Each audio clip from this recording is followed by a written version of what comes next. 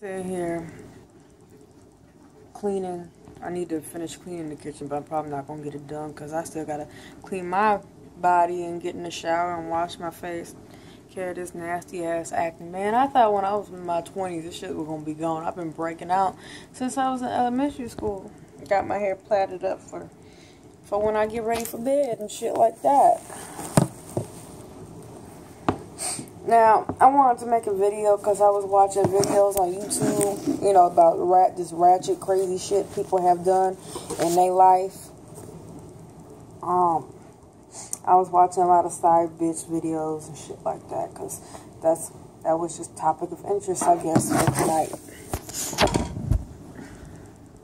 You know, the side bitch series about bitches, I guess, selling for less. And one thing that popped into my mind was crazy sex experiences that I've done had.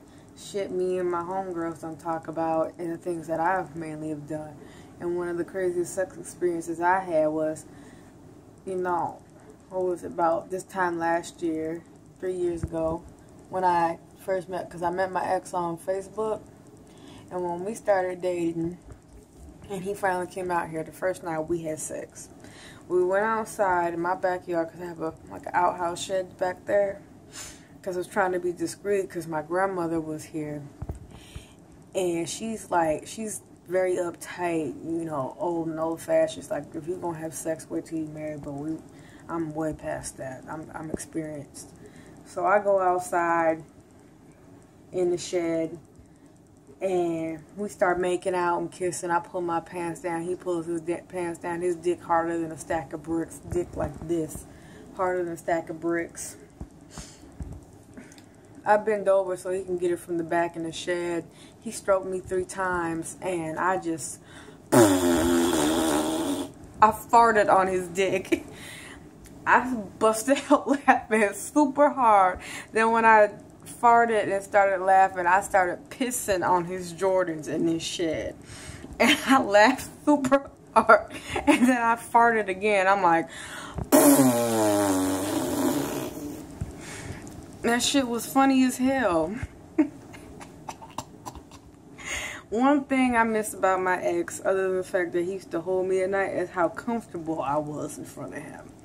I feel like one thing's important if you're going to be in a relationship, besides the fact that I'm kind of a nasty, weird bitch, is that I'm comfortable with my partners. Like, I, I need to be able to be myself with you, you know. Friend first, lover second, because he was somebody I used to talk to every day before I finally seen him in person. And he was cool about it. Like, we laughed really hard. like I can't. He's like, I can't believe you pissed on my Jordans. We were together for like four years though.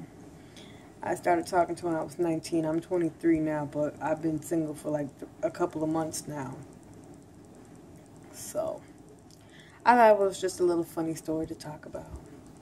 Time, I farted on my ex-boyfriend's dick in a shed in my backyard. And every time I think about that sexual experience, it makes me feel bad about breaking up with him. You cheated on me, but I'm, I farted on your dick. And it makes me feel bad about myself.